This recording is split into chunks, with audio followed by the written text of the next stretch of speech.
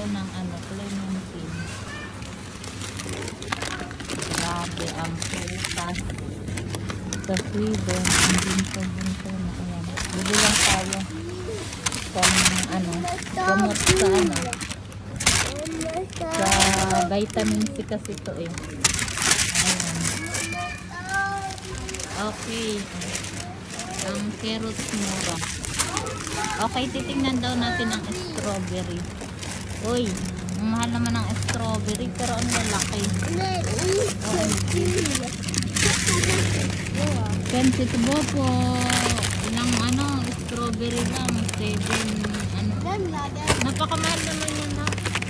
Oh, put mo dyan dyan. Napakamahal naman ang strawberry na to. Uy, 95. Isang ganito. Tapos yung ganon, magkano yung ganong strawberry? Napakamahal naman. Ayan, blueberry. May blueberry din sila. Tapos yung grapes. Grapes, ang 50 to eh.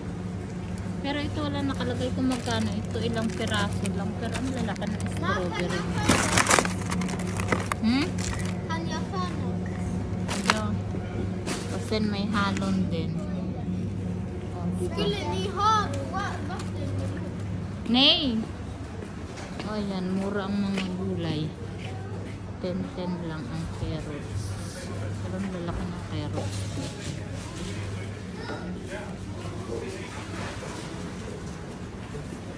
Ano kayang makain? May spaghetti na ako eh.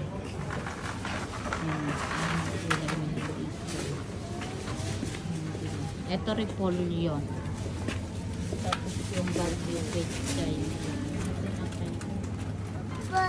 Meron din sila ditong ano, anong tawag dito? Sa munggo, nakalimutan ko na ang tawag. Togi. Ayan, masarap yan din. Kuhang ako nito. Ginisa, masarap din to eh. Ay, nalaglag. Ayan, balik natin. Ayan yung togi nila. 19 daw. Balik natin yung nalaglag. Baka tayo pagalitan. Ayan. Saan na? Tapos yung luya nila. Mahal ang luya o 190. Tapos ito yung talong nila. oh. Ganito yung talong nila. Malalaki. Hindi masarap. Sarap sa parang ano, Japan. May labanos din sila dito.